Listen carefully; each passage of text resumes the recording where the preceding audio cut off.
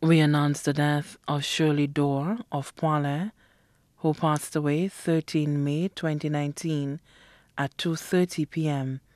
in Port St. Lucie, Florida, at the age of 63.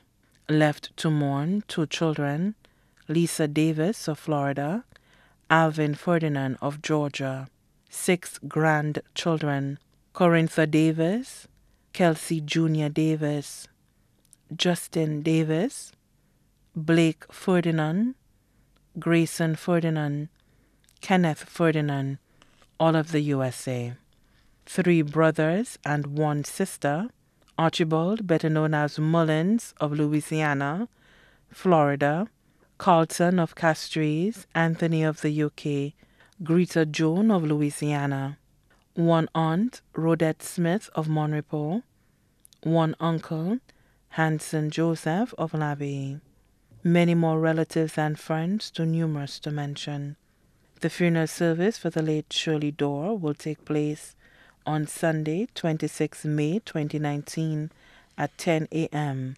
at the First SDA Church in Port St. Lucie, Florida.